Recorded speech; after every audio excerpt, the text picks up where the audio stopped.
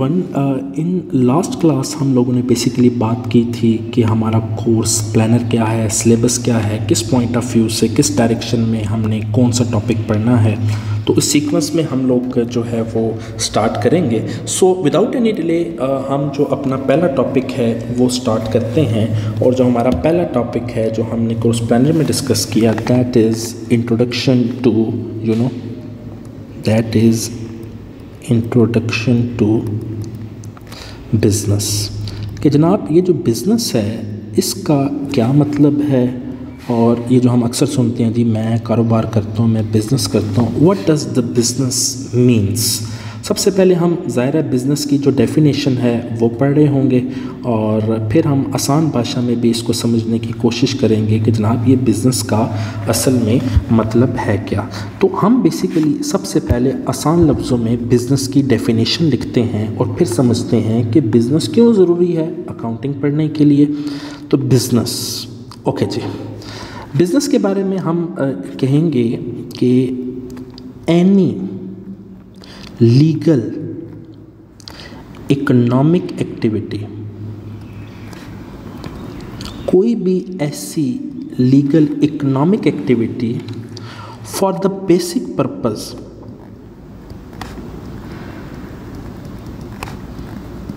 of earning profit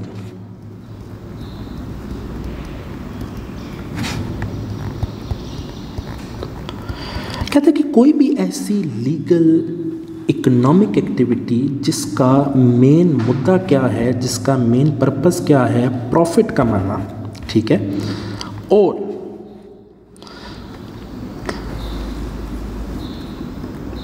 but keeping in a view the risk of loss लेकिन साथ साथ ये ख़दशा भी जेन में रहे। कि जनाब, नुकसान भी हो सकता है। उसी को बिज़नेस कहेंगे ना, कि जहाँ पर मेन मुद्दा तो प्रॉफिट कमाना है, मुनाफा कमाना है, लेकिन जेन में ये भी रहे कि नुकसान हो सकता है। उसको हम बेसिकली बिज़नेस कहते हैं। डिफरेंट बुक्स में डिफरेंट डेफिनेशंस हैं। आपको रट्टा लगाने की ज़रूरत नहीं है। आपने बस कॉन्सेप्ट क्लियर करना है। अच्छा जी। अब हम इसमें इम्पोर्टेंट जो वर्ड्स हैं, उनको अंडरस्टैंड करने की कोशिश करते हैं। देखें जी, एक पहली बात है कि बिज़नेस वो है जो लीगल हो। यहाँ पर लीगल से मुराद ये है कि जिस कंट्री में आप वो बिज़नेस कर रहे हैं, उस कंट्री का जो लॉ है लेजिस्लेशन है वो उस बिज़नेस को अप्रूव करती हो। जैसे कि for example if you are working in Pakistan तो पाकिस्तान में you can not sell the pork meal you can not sell the alcoholic products directly to the consumers because it is prohibited not allowed by our law So that is not a legal business in Pakistan. But if you talk about the Europe, if you talk about the America, तो वहाँ पर it is very simple to sell a pork meat. It is very easy to sell you know alcoholic products because that is legal over there. ठीक है तो I am just talking about वो business जो legal हो जिस country का। For example you want to start your own you know a business like as a result dairy farm हो गया पोल्ट्री का करना है, उसके अलावा आपने कोई फर्म बनानी है सॉफ्टवेयर हाउस बनाना है, आपने कोई कंस्ट्रक्शन कंपनी खोलनी है, पाकिस्तान में वो अलाउड है तो यू कैन डू दैट अच्छा पहली बात तो ये होगी। दूसरी बात क्या है? इकोनॉमिक एक्टिविटी होनी चाहिए। देखें, एक तो वो लीगल हो जिस कंट्री में हो रहा है, उस कंट्री का लॉ कहता हो, ठीक है, ये आप कर सकते हैं, और उससे इकोनॉमिक एक्टिविटी जनरेट हो। आसान भाषा में इकोनॉमिक एक्टिविटी का मतलब है कि कोई भी ऐसी एक्टिविटी जिसमें पैसा इन्वॉल्व हो। क्या इन्वॉल्व हो? पैसा इन्वॉल्व हो, उसको हम इकोनॉमिक एक्टिविटी बोलते हैं। For example over here is involvement of money यहाँ जिस एक्टिविटी में पैसा इन्वॉल्व हो, उसको इकोनॉमिक एक्टिविटी बोलते हैं फॉर एग्जांपल मैं आसान भाषा में बता रहा हूँ आपको। आप पेट्रोल पंप पे, बाइक पे पेट्रोल डलवाया गाड़ी में तो एज अ रिज़ल्ट पैसा जनरेट हुआ ना, आपने पेट्रोल के पैसे दिए बेनिफिट ले लिया तो दैट इज़ इकोनॉमिक एक्टिविटी आपने नाश्ता किया, पैसे पेमेंट की तंदूर वाले से, नान खाया, और आपने इकोनॉमिक एक्टिविटी कर ली, आपने बेनिफिट लिया, उसको आपने मनी पकड़ा दी. तो एक तो वो लीगल होना चाहिए बिज़नेस और दूसरा उसमें क्या इन्वॉल्व होना चाहिए? मनी पैसा इन्वॉल्व होना चाहिए. जिसका जो बेसिक मुद्दा है for the basic purpose of वर्ट earning profit कि आपने कमाना प्रॉफिट है, ज़ाहिर है चैरिटी के लिए तो काम नहीं करना ना बिज़नेस का तो मतलब ही ये होता है टू अर्न प्रॉफिट लेकिन साथ साथ ये ख़दशा जहन में रहे कि जनाब हो सकता है आपको क्या नुकसान? उसको बिज़नेस कहते हैं। For example you have deposited one hundred thousand dollar in your Standard Chartered bank account और आपने उसको सेविंग अकाउंट में जमा करवाया और एज अ रिज़ल्ट आपको उसके ऊपर इंटरेस्ट मिल रहा है प्रॉफिट मिल रहा है। That is not a business that is basically an investment secured investment तो बिज़नेस में ख़दशा हो कि नुकसान हो सकता है। अच्छा ये नहीं है कि ख़दशा हमेशा सर पे मंडलाता रहे। देखें when you have obsession of something going wrong तो इट एक्चुअली अक्कर्स जैसे ही आपको खौफ होता है ना, कुछ हो जाएगा बुरा तो वाकई बुरा हो जाता है because there is some you know vibes and there is some omens that produces लेकिन यहाँ पर keeping in a view the risk of loss का मतलब बेसिकली आसान भाषा में ये है कि आपने इस चीज़ का बंदोबस्त भी करना है कि अगर नुकसान हो गया इफ़ लॉस अक्कर अगर नुकसान हो जाए how to reduce its impact देखिए, मैं आपको सिंपल सी गाड़ी बात बताता हूँ। आप गाड़ी लेके निकलते हैं रोड पे, आपके जहन में यह है कि ठुक जाएगी ठुक जाएगी ठुक जाएगी और वो वाकई लग जाती है। क्यों? क्योंकि जो इंसान जितना ज़्यादा सोच रहा होता है, उतना ही ज़्यादा वो वाइब्स जो है प्रोड्यूस करता है। एज अ रिज़ल्ट नेगेटिव सोचता है तो नेगेटिव चीज़ें अट्रैक्ट होती हैं। एक किताब भी है दी सीक्रेट उसमें ये सारा का सारा लॉ ऑफ़ अट्रैक्शन जो है वो लिखा हुआ है, आप स्टडी करें। अच्छा तो अगर आप यही सोच रहे हैं कि जनाब नुकसान हो जाएगा, नुकसान हो जाएगा तो आप बिज़नेस तो कर ही नहीं पाएँगे।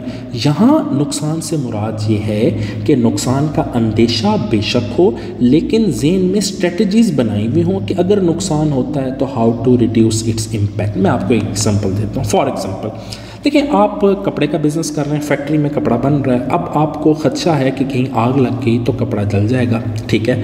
अब आपने कोई बंदोबस्त किया नहीं हुआ, इसका मतलब that is hundred percent risky अगर आग लगती है तो सारा सामान जल जाएगा, जो कि उसकी लपेट में आएगा।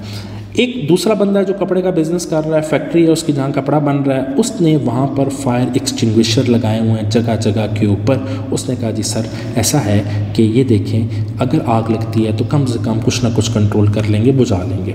एक तीसरा बंदा है यानी दूसरा बंदा कुछ तो वाइज है ना कि अगर नुकसान होता है तो उसको कैसे हम कंट्रोल कर सकते हैं? तीसरा बंदा कहता है कि सर, मैंने जो है फायर एक्सटिंग्विशर भी लगाए हुए हैं और मैंने जो है वो इमरजेंसी अलर्ट्स भी लगाए हुए हैं। मैंने साथ ही जो है वो अपना एक स्पेशल स्क्वाड जो है वो बनाया हुआ है। छोटी सी उनके पास जुकी है, उसमें पानी होता है। और अगर खुदा न खास्ता, वो मैंने एक किस्म की फायर ब्रिगेड बनाई है। आग लगती है तो हम फ़ौरन काबू पा लेंगे। Okay that is also wise चौथा बंदा है, वो कहता है कि सर मैंने पास ये तमाम चीज़ें हैं इंस्टिंग्विशर्स भी हैं और फायर फाइटर्स भी हैं। मैंने तीसरा काम ये किया सर कि मैंने फायर एश्योरेंस करवाई हुई है। इसका मतलब है कि जस्ट इन अ केस जो नुकसान हो जाता है तो to some extent that is recoverable तो वो चौथा बंदा बहुत वाइज है बिकॉज़ उसने ये सोच रखा है कि अगर नुकसान होता है तो मैं इसका इम्पैक्ट कैसे रिड्यूस कर सकता हूँ? तो इसका मतलब ये है कि बिज़नेस में ये चीज़ें होना ज़रूरी हैं। क्या चार चीज़ें? लीगल होना चाहिए, उसमें पैसा इन्वॉल्व होना चाहिए। तीसरी प्रॉफिट के लिए आप कर रहे हैं। चौथी there must be a risk of loss के जना नुकसान हो सकता है। तो that is a business so ये फुल फ्लैज बिज़नेस की डेफिनेशन है। मेरा ख्याल है कि आपको इसकी समझ में आई होगी बात। चलिए, आगे मूव करते हैं। अब हम डिस्कस करते हैं कि जनाब बिज़नेस तो ये है. What are the types of business दुनिया जहान में जो बिज़नेस हो रहे हैं, उनकी कितनी टाइप्स हैं?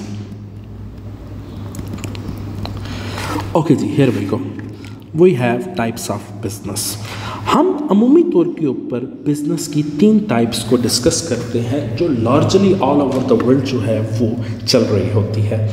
एप्लीकेबल है यू कैन सी उसके अलावा भी हैं, लेकिन हम अकाउंटिंग के अंदर इन तीन टाइप्स को ज़्यादा फोकस कर रहे होते हैं। नंबर वन टाइप जो है, वो है बेसिकली सोल प्रोप्राइटरशिप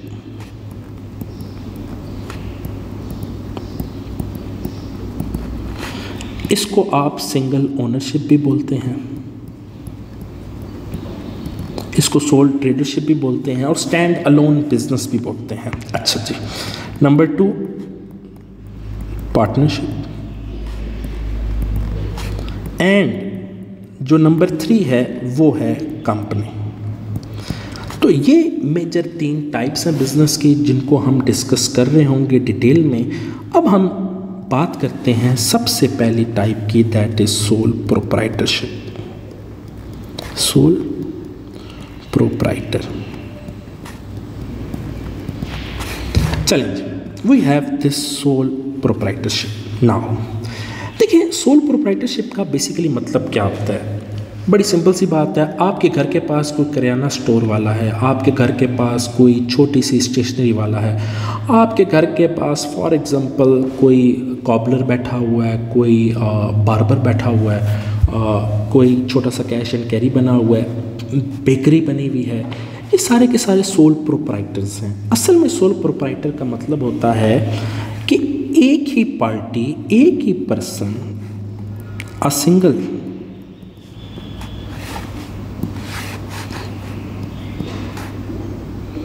पार्टी क्या?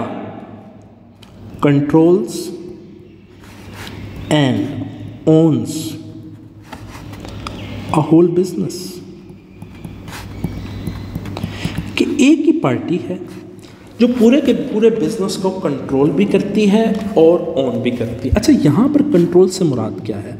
यहाँ पर बेसिकली कंट्रोल से मुराद ये है कि उसकी जो डिसीज़न मेकिंग है that is decision making let me correct the spellings over उसकी जो डिसीज़न मेकिंग है, वो पार्टी करती है। जैसे आप कहते हैं कि, सर, हमारे तो वर्कशॉप है, उधर चालीस लोग काम करते हैं।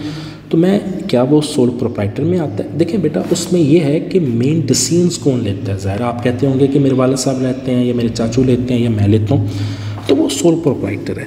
और फिर नंबर दो, उसकी ओनरशिप भी तो आपकी है ना? You own that you own that तो जब आप जिस बिज़नेस को ओन करते हैं ओनशिप उसको आप कहते हैं कि ये सोल प्रोप्राइटरशिप है। एक single person controls the whole business and owns the whole business ना अच्छा इसमें एक लिमिटेशंस हैं। आप कह सकते हैं कि इसमें एक डिसएडवांटेज है। वो जो लिमिटेशन है, उसको मैं रेड मार्कर से लिखूँगा।